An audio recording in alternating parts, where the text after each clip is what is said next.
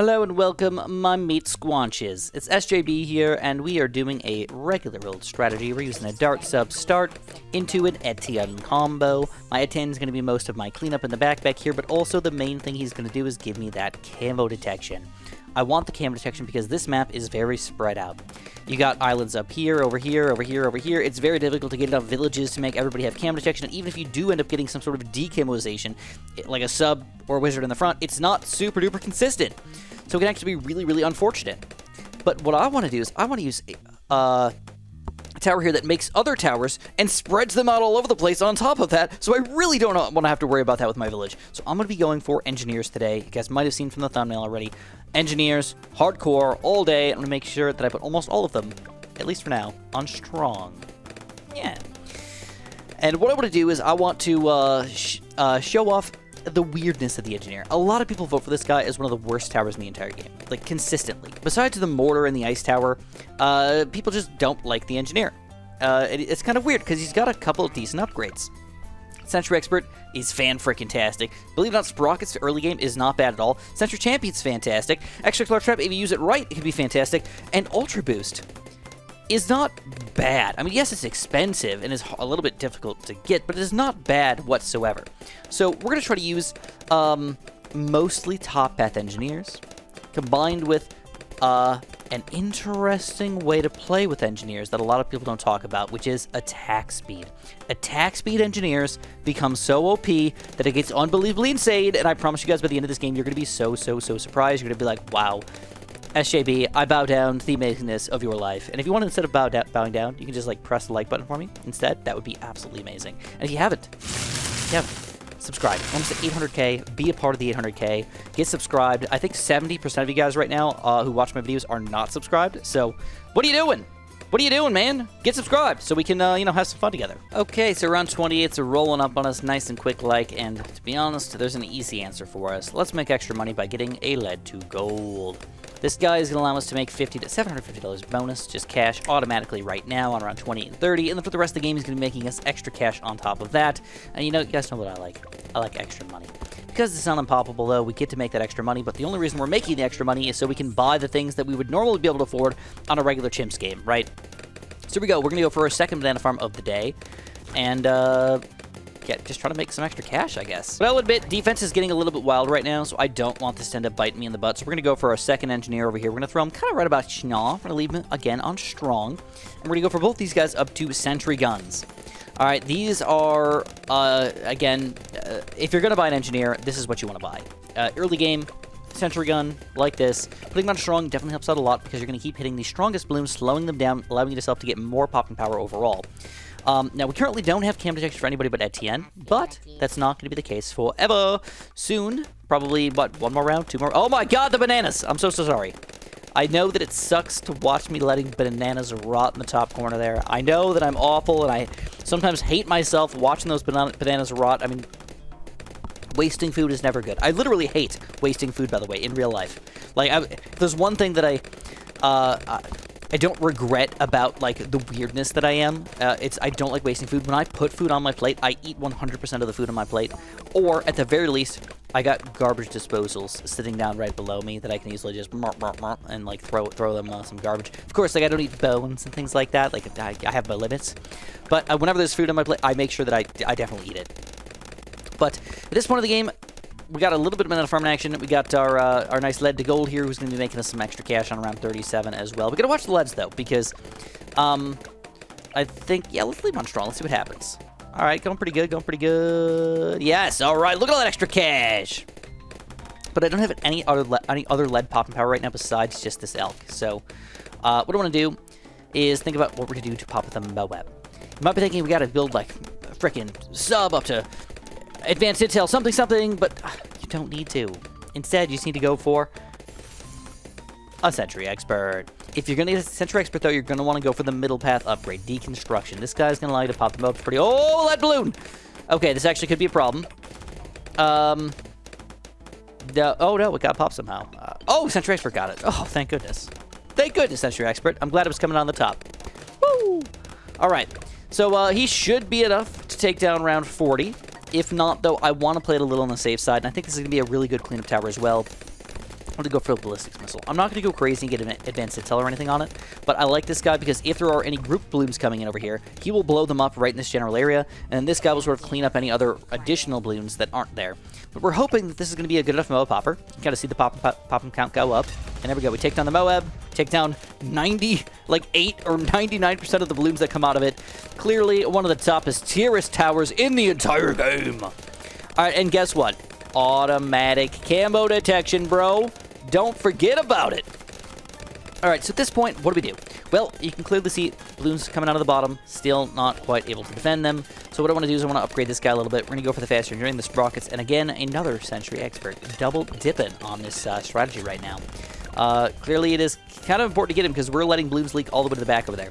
And even though it might seem like, oh, gotta worry about balloons, we're on around 44. I don't care about balloons, bro. I care about when the Moabs come out, so we're going to get another deconstruction engineer. And right now, I feel pretty comfy. I feel like I, am in the biggest, comfiest, feathery-filled couch that I could possibly be in right now. And guess what? It's like 12 feet wide and like 15 feet long, okay? It's like a bed couch. But it's, I guess, couches are kind of like beds, aren't they? What is the difference between a couch and a bed besides the, the size? Hmm. Intriguing. Alright, things are going fan-freaking-tastic right now. I assume that if we pop the first mob, the second mob should go down just as easily, right? But I guess you have to you do have to rely on luck being a mild factor. Small amounts of RNG for the Sentry Expert. It's less RNG as it is how did Ninja Kiwi program him? Because if Ninja programmed him to be wrong, like building the wrong sentries at the wrong times, or if a Moab comes out and they don't build the ener energy sentries, which do a lot of pops compared to um, the bomb sentries and stuff like that. I don't know. It, it gets really goofy. Um, here we go. So you can see, the second Moab actually a little tricky without this sub. We would have been in a little bit of a sticky situation. But we're still rocking it pretty far so far. Uh, pretty good so far. So I am not worried. I believe we can go for a second central market here, and that's probably it for farming. I think we can survive off those guys forever. Uh, we can start to really get this strategy rolling. Uh-oh. Uh-oh. Uh, going to go for a Twin Gun Saber Starts combo. Uh, yeah, we can definitely see the Moabs are starting to overwhelm us a little bit. That is our biggest weakness if we have a weakness right now, is Moabs. So greed has most definitely been a factor for us so far. It's not really that the engineer is doing a bad job. He's a super cheap tower. He's not meant to do all of what I'm asking him to do right now. So let's get another one. Let's double dip him. Let's double dose on each side. Let's go for another, uh, another quick Sentry Expert. Another quick Sentry Expert on the bottom. And again, I'm going to go for the deconstruction. Now you're going to see the Wombo combo that we currently have. Once the Moab gets popped, we've got random freezing sentries, random crushing sentries, just blowing up all the ceramics, a bunch of laser sentries just killing all the balloons, and then cannon sentries which blow up all the group balloons on the inside of all of that. So it's just working out wonderfully at this point. Do we have a weakness? I mean, if anything, the bigger the balloon, the worse it's going to be. BFBs and stuff like that. So what do we do? Well, at this point, it's about getting some speed rolling. Alright, speed is a weird thing to get. Uh, if you want to get normally amounts of speed, you're going to have to get a, a, village. But there are other ways to sort of get speed. Oh, look at the money. Oh, but no... Oh, we do have Camden. Oh, what am I worried about, bro? At the freaking end, man. Don't forget about him. We got a BFB. Let's see what happens. I'm just kind of curious. Uh, BFB goes down. Balloons on the inside. A little bit overwhelming. Will the sub clean him up? Yes, he does. Don't need to use any of our abilities here at all. And we got a lot of money. All right. I'm just gonna freaking do it, man. And I'm gonna throw him. I'm gonna throw him right here. All right, this is not like the most ideal location ever, but I will get a decent amount of engineers in range here. Um, and I wanted to make sure I get the entire islands on both these sides full of eventually engineers. That's legit a real thing I want to do. But what I want to do, instead of going for anything else, I want to go for a quick call to arms. All right, now don't forget Call to Arms got buffed recently. It gives uh, Monkey's 50% attack speed and pops for a short time, quote unquote. The weird thing about the uh, sentries here, or the engineers in general, is that 50% attack speed means that you're building 50% more sentries. So when it wears off, it still lasts for a little while after the fact. It actually gets kind of cool. The more speed you get, the more time you get to pop all those things, the more time you have uh, to throw down sentries, and just get like a continuously long affecting uh, uh, thing, just effects for a while. Uh, we got some... Dang, I can't believe that they're doing such a good job over there. It's crazy awesome. Uh, like, crazy, crazy awesome. In fact, that's probably why we're doing so good, is the sentries are getting put down in a spot they can attack over here as they wrap around a second time, and then as they wrap around a third time in addition. Round 63, though, normally a very difficult round. Absolutely not problematic at all for us right now. And now I'm going to go for my Call to Arms. Boom, boom. And because I like speed, we're going to get a Drunken Drums as well. We get anybody in range here? I love it. All right, so we got a pretty tough uh, round over here. Unfortunately, with Call to Arms, again, you don't get the instantaneous bonus. You kind of have to wait for it. You get like a little bit of something, something. But you got to wait for the sentry to start to build up over here. Uh, and looks like we did a good job anyways that speed is working out for us. Now, what are the other ways that we can increase the speed?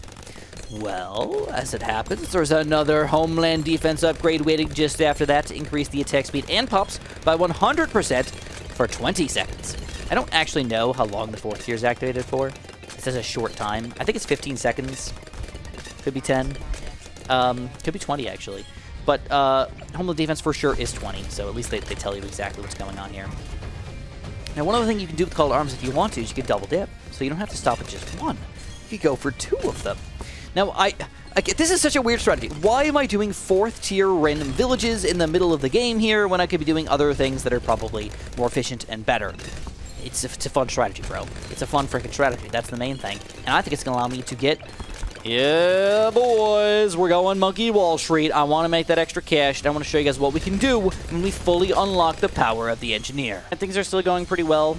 Um, I have not had to use Etienne's ability yet, but I think we're going to start having to use it pretty soon.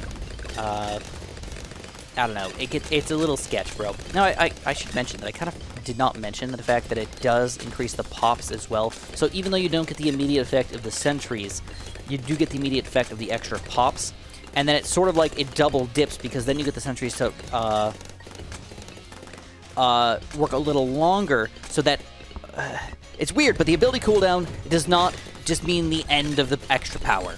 That's really all I'm saying here. All right, we got enough money, I believe. If not, we're very, very close. Let's wait like a few more seconds. And uh, Wise to have to be the slowest part of the entire game right now.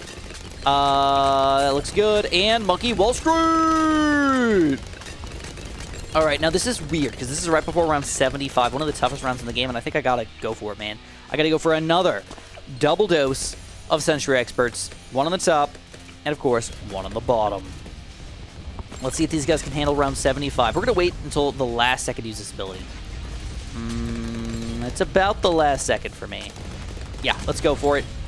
I've got uh, uh, UCAV views as well, but it does not look like it's required at all. Round 75 goes down. Round 76, lasting through to round 76. We take that down easily as well. Unfreaking believable, bro. All right, let's go for another Sentry Expert with Deconstruction. All right, what do we do now? Well, we've got a Monkey Wall Street. He's making some extra cash, but I feel like I could go for one more. Just one more. And believe it or not, we're not going to hold him around the entire game. I'm just going to make money for a little while because I got to get some buildings going. Um, I have to build up, build up my strategy, build up my defense to show off the awesomeness. 79 rolling in here. This is, again, defending almost everything with a weird combo of Sentry Experts. Uh, it, it is goofy, don't get me wrong. It's weird, you should be thinking this is not something that I expected to have happened, but it is. It is indeed happening. All right, let's use this guy again. And we, oh, we start annihilating. All right, so what are we going to do now? Well, I want to put him in range of the village. I'm going to go for one more Sentry Expert. We're going to put him in the front of the map, though. I'm also going to get the Deconstruction, but I do need to start getting a Sentry Champ. Okay, he's going to be 38-4. He's going to be pricey, don't get me wrong. Um, but how the heck am I going to pop these bigger balloons without him? I don't know. So let's check this out without a UCAV. without a UCAV. oh my god, goes down pretty easily. Oh my gosh. That feels good. Okay, okay, okay. I think I gotta be done with the Monkey Wall Street, Wall Street soon. Let's do it. Let's get rid of the Monkey Wall Street. Let's buy this guy to a Sentry Champion. And then that's not it, though. I want to go for another random engineer. We're gonna throw him in the middle of the map, even though this is not a good spot at all. We're gonna go for a quick... Mm, can I afford him? Uh, I messed up by just a few thousand dollars here. It's not a big deal, though. Not a big deal. I'm gonna sell it to... It was 86,000? Oh my god, it's so expensive on uh, Unpoppable. Oh, I thought I mathed it just right, bro. I wanted to get my build-up flowing. Um, but Uh, now, sounds good. 86,000, we got the Ultra Boost. So now what do we do? Well, we're going to be Ultra Boosting our Engineers. We're going to be combo playing this. Now, I still want to get my money back. I want to try to get a Homeland Defense going, and I think $48,000 by the end of the game probably possible. But if I can get it any earlier, I'm going to try to make it happen, right? So I'm thinking of Marketplace. I'm thinking we just keep on Ultra Boosting our highest level Sentry champs, and then if we want to, we start Ultra Boosting literally Sentry experts.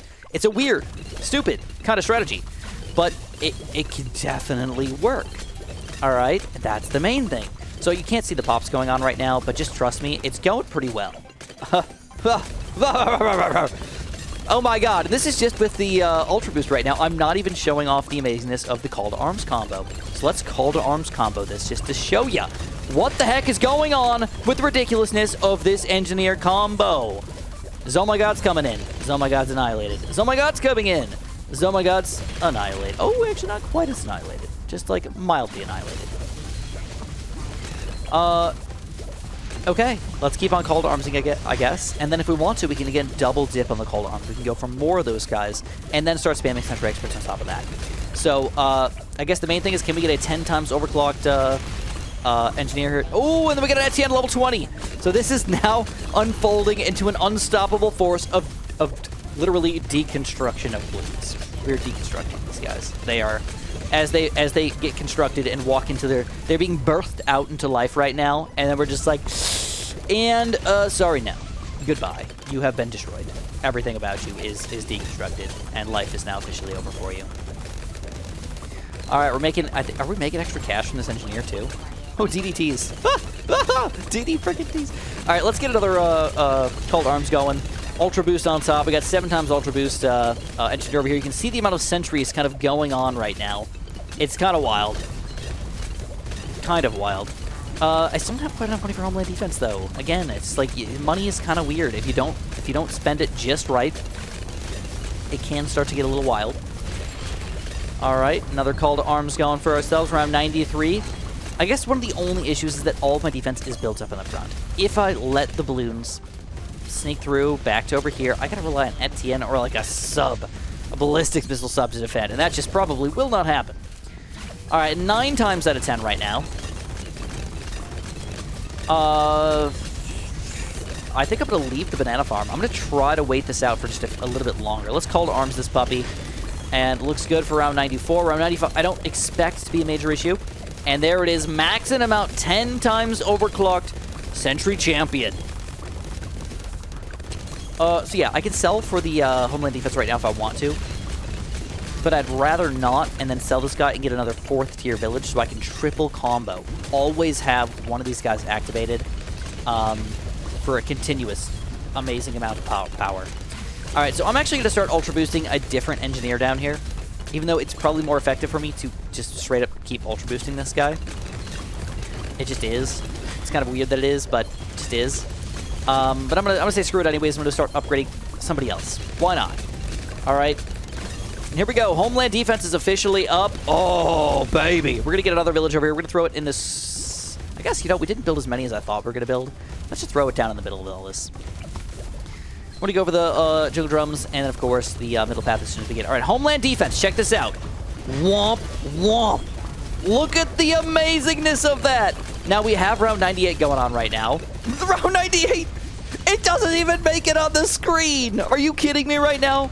Now, this is the perfect time. If you guys are like, wow, Chris, you actually did tell me the truth right now. This is a pretty amazingly awesome strategy. Press that like button. Subscribe if you have not. And, uh, of course, use my creator support code. It's SJB. Just click the settings button, type in SJB, and uh, everybody's happy. Oh, I ultra boosted the wrong person. All right, I guess we're making tons of extra cash for round 99. Uh, let's Homeland defense this crap, though. Homeland defense!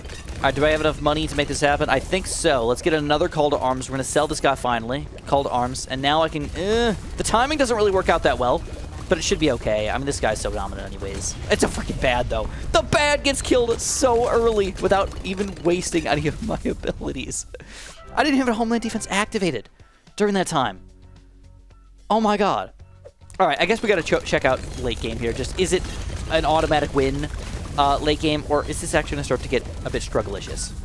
So against the biggest balloons, while we have Homeland Defense activated, no frickin' problem at all. I mean, these are reinforced oh my god stuff getting annihilated as soon as they walk in. But, um, uh, DDT, same thing, as soon as they come in. I mean, there is going to be a big chunk of reinforced oh my gods right now, though. Oh, big chunk, but Homeland Defense gets activated. And the melting will commence. wow, it's beautiful. All right, let's say screw Ultra Boosting this guy now. Let's switch back to uh, a bunch of engineers. Let's actually build a bunch of engineers down here. All right. Whatever I can fit. I can only fit four over there. I can fit what? Oh, wait, wait, wait. Homeland Defense. Go, go, go. Only fit another three in range over there, and we're going to build them all up to Sentry Experts with the middle path upgrade.